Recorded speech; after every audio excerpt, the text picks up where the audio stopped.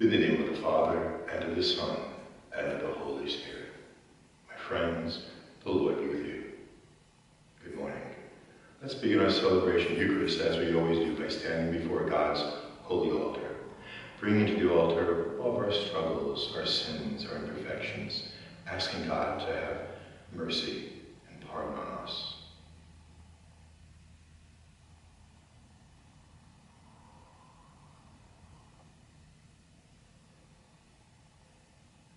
And with humble and contrite hearts we pray, Lord, have mercy. Christ, have mercy. Lord, have mercy. May Almighty God have mercy on us. Forgive us all our sins and bring each of us to everlasting life. Let us pray.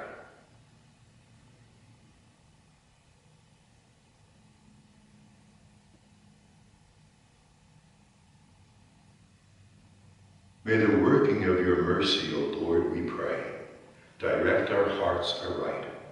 For without your grace, we cannot find favor in your sight.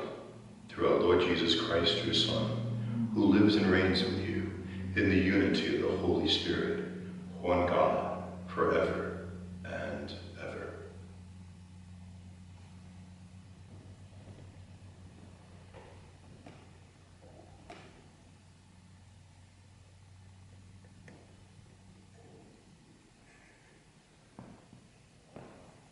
A reading from the book of the prophet Jeremiah. I knew their plot because informed me. At that time, you, O Lord, showed me their doings. Yet I, like a trusting lamb led to slaughter, had not realized that they were hatching plots against me. Let us destroy the tree in its vigor. Let us cut him off from the land of the living, so that his name will be spoken no more. But you, O Lord of hosts, O just judge, searcher of mind and heart, let me witness the vengeance you take on them. For to you I have entrusted my cause. The word of the Lord.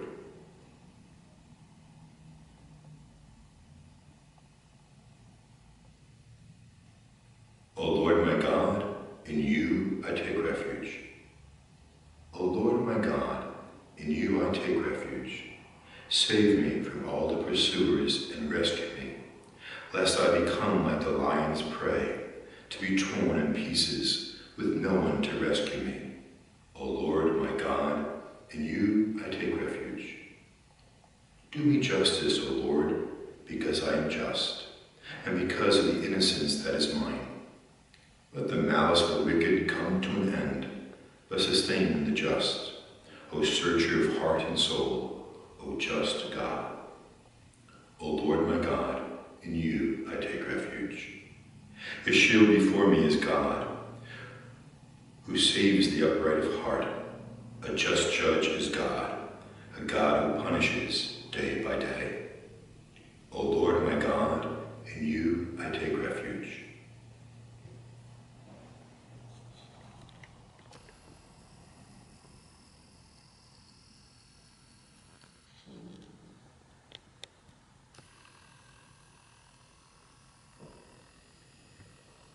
The Lord be with you. A reading from the Holy Gospel according to John.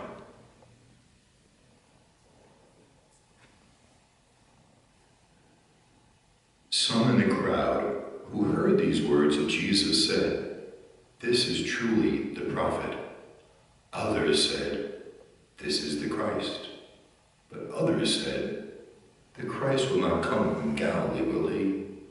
Does not Scripture say that the Christ will be of David's family and come from Bethlehem, the village where David lived? So a division occurred in the crowd because of him. Some of them even wanted to arrest him, but no one laid hands on him. So the guards went to the chief priests and the Pharisees, who asked them, Why do you not bring him? The guards answered, Never before has anyone spoken like this man. So the Pharisees answered them, Have you also been deceived? Have any of the authorities or the Pharisees believed in him?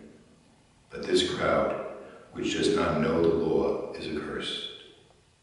Nicodemus, one of their members who had come to him earlier, said to them, Does our law condemn a man before it at first hears him and finds out what he is doing?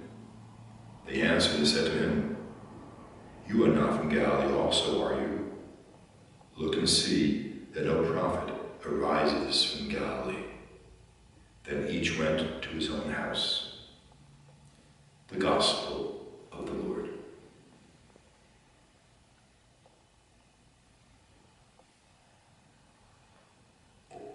As we journey farther along our Lenten path, and we listen to the Gospels these past two days, we realize that Jesus is causing quite a commotion.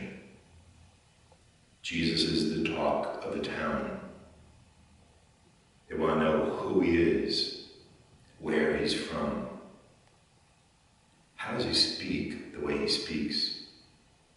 Now, the Jews of Jesus' time were very familiar with false prophets, sort of like we're very familiar with celebrities.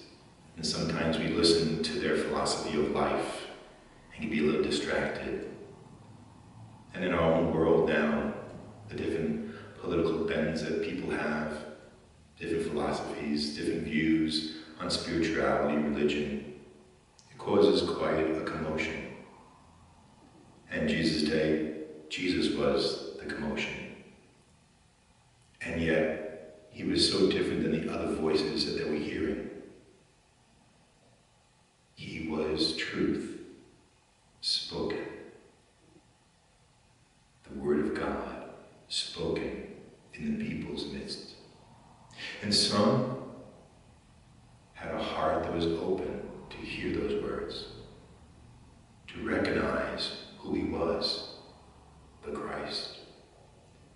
And it's ironic, the very people who should have recognized him were the ones who refused, mocked him, mocked the people who believed, even mocked one of their own, Nicodemus, a member of the Sanhedrin. Basically, they're saying to their own brother, their own colleague, so you believe this, this crackpot too? But I'm guessing, and I'm sure some scripture scholars do as well, that they didn't really think that Jesus was a crackpot. Just the opposite. They probably actually realized who he was. And that terrified them. And you say, Father, why would that terrify them? Weren't they waiting for Messiah? Wasn't that the, the prayer they waited to have answered? Of course it was. But it wasn't convenient for them. Because if they took Jesus at his word, it mean, meant something had to change. More importantly, someone, they had to change. Because they weren't living the truth. They were nice and comfy. They had a great gig going on. They were respected in the community. They had an alliance with their occupying force. They made their little niche. The last thing they wanted was a Messiah to come along and destroy everything they had, change their world upside down. And those of us who believe realize that when we do let Jesus in our lives, he does change our lives upside down. Because that truth, that word of truth, that is so mesmerizing, it's also very challenging. And at the very same time, it draws us into him. Because it's a word we need to hear. And yet at the very same time, it's so hard for us to put into practice, to live by. It's kind of like a little kid, and you want to take that yucky tasting medicine, would say, well, if you don't take the medicine, you're not going to get better. I know, mom, but it tastes yucky. And that's kind of how they felt toward Jesus. They didn't want to deal with him. They made him. He made them feel uncomfortable. So today, as we take to heart the words of Scripture, as we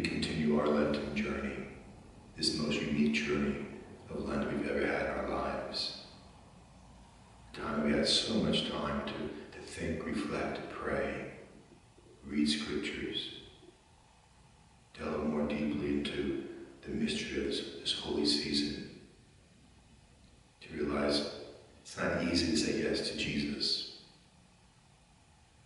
Because Jesus isn't just asking for lip service. He asks, he's asked us to surrender our hearts to him. And in surrendering our hearts, our lives.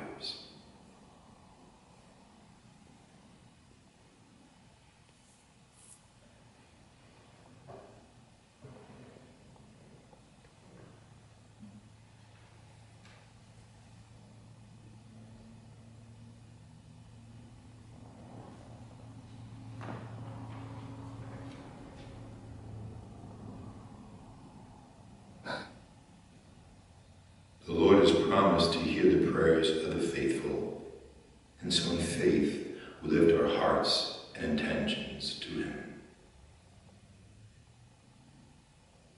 For the Church, may the Lord fortify and sustain her in her prophetic witness to the gospel, we pray. For those in public authority, may the Holy Spirit grant them discerning hearts to know His will, we pray.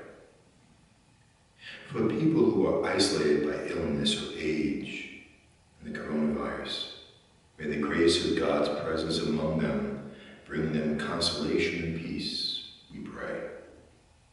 For ourselves and our families and loved ones, may the outpouring of the Holy Spirit upon us conform us evermore to the heart and mind of Christ, we pray. For the dead, may all who have died in the light of faith be welcomed into the everlasting joy found in heaven, we pray. We take a moment to remember all those who have asked for our prayers and all those we have promised to pray for.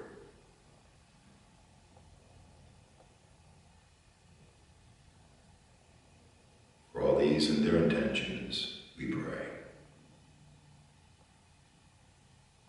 And this morning, we remember we pray for the repose of the soul of Lenny Mistosky, for whom I celebrate this Eucharist.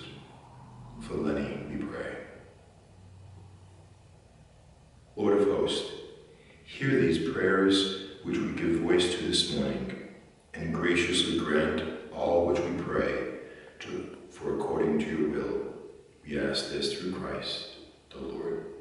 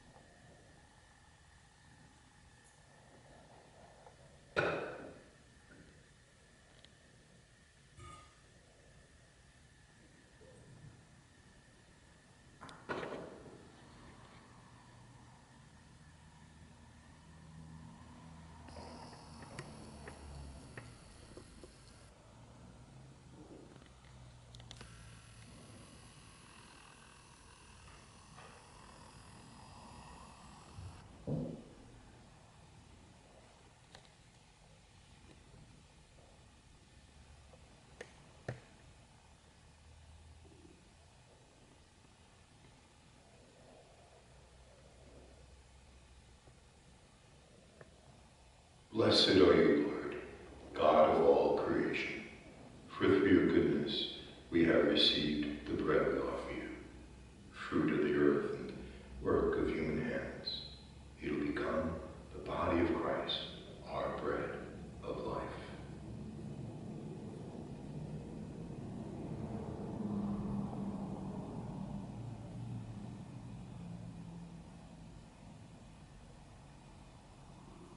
Blessed are you, Lord, God of all creation. For through your goodness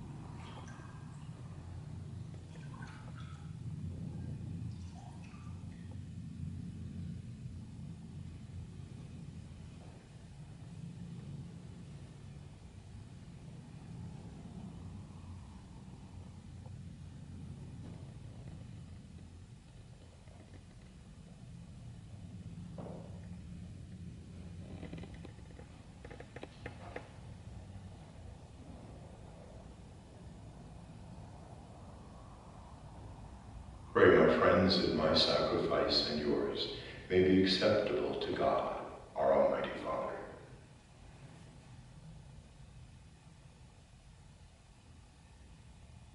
Be pleased, O Lord, we pray, with these oblations you receive from our hands, and even when our wills are defiant, constrain them mercifully to turn to you through Christ our Lord.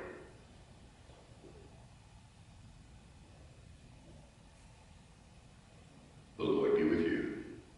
Lift up your hearts. Together let us give thanks to the Lord our God. It is truly right and just, our duty and our salvation, always and everywhere to give you thanks, Lord, Holy Father, Almighty and Eternal God. For you have given your children a sacred time for the renewing and purifying of their hearts, that freed from disordered affections, they may so deal with the things of this passing world as to hold rather to the things that eternally endure. And so with all the angels and saints, we praise you as without end we acclaim. Holy, holy, holy, Lord God of hosts, heaven and earth are full of your glory. Hosanna in the highest. Blessed is he who comes in the name of the Lord. Hosanna in the highest.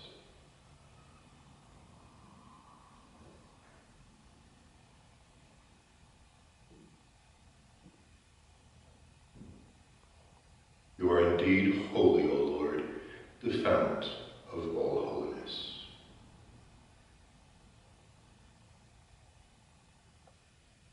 Make holy, therefore, these gifts, we pray, by sending down your Spirit upon them like the dewfall, so that they may become for us the body and blood of your Son, our Lord, Jesus the Christ. At the time he was betrayed and entered willingly into his passion, he took bread and giving thanks broke it and gave it to his disciples, saying, Take this, all of you, and eat of it. For this is my body, which will be given up for you.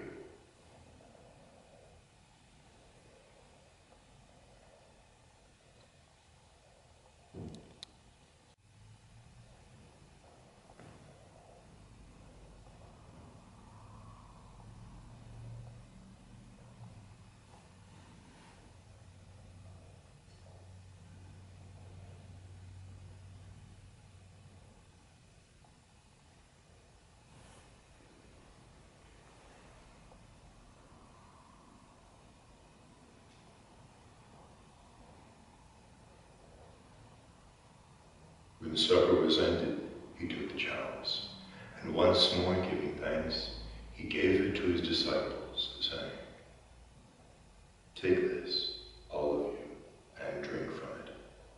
For this is the chalice of my blood, the blood of the new and eternal covenant, which will be poured out for you and for many, for the forgiveness of sins. Do this in memory of me.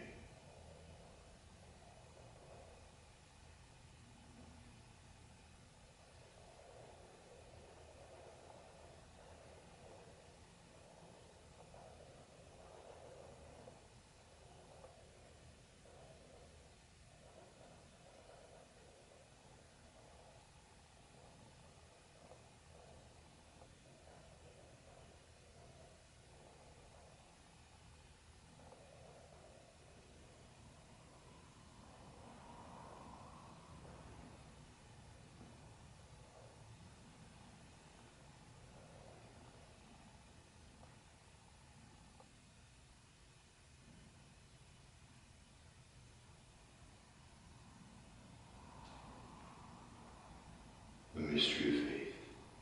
We proclaim your death, O Lord, your resurrection until you come again.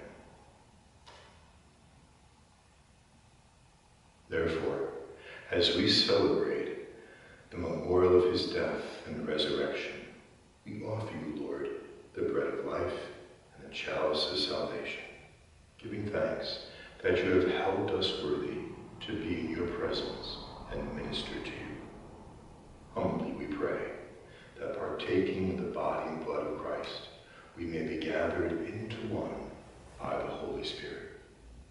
Remember, Lord, your church spread throughout the world and bring her to the fullness of charity, together with Francis, our Pope, and James, our Bishop, and all the clergy. Remember your son Leonard, whom you have called from this world to yourself. Grant that Lenny, who was united with your son like his, may also be one with him in his resurrection. Remember also our sisters and brothers who have fallen asleep in the hope of the resurrection. And all who have died in your mercy, welcome them into the light of your face. Have mercy on us all, we pray, that with the Blessed Virgin Mary, Mother of God, Our Lady of the Mount, with Blessed Joseph, her spouse, with the blessed apostles and martyrs, Saints Francis and Clare, each of our patron saints and all the saints who have pleased you throughout the ages, we may merit to be co-heirs to eternal life, and may praise and glorify you through your Son, Jesus the Christ.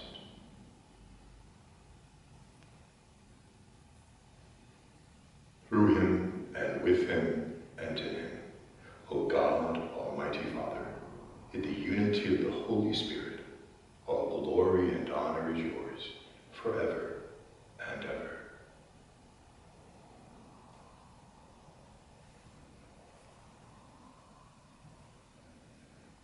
At the Savior's command and formed by divine teaching, we dare to pray.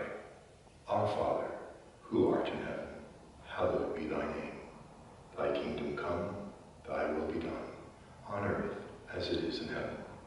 Give us this day our daily bread, and forgive us our trespasses, as we forgive those who trespass against us.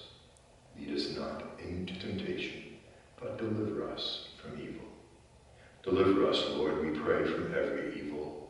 Graciously grant peace in our days, that by the help of your mercy we may be always free from sin and safe from all distress, as we await the blessed hope and the coming of our Savior, Jesus the Christ.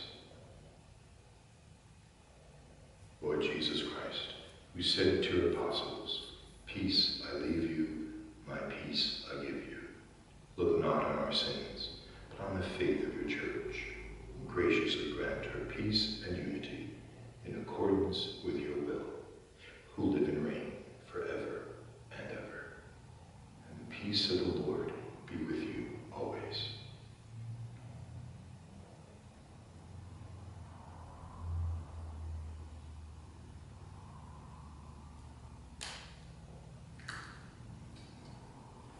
Lamb of God, you take away the sins of the world, have mercy on us. Lamb of God, you take away the sins of the world, have mercy on us. Lamb of God, you take away the sins of the world, grant us peace.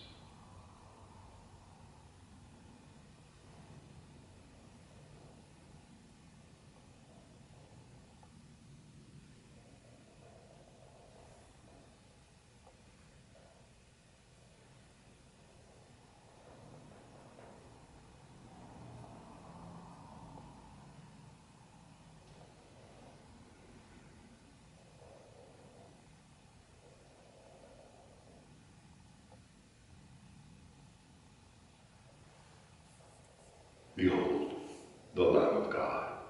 Behold him who takes away the sins of the world. Blessed are those called to the supper of the Lamb.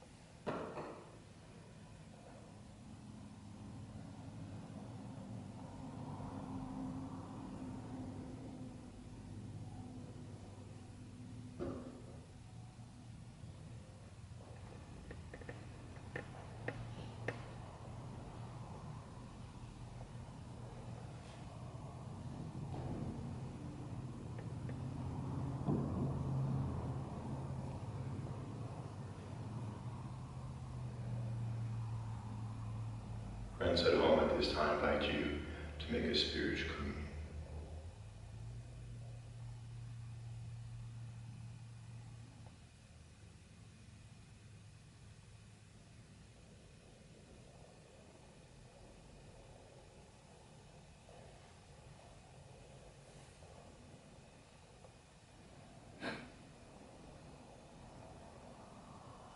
Let us pray.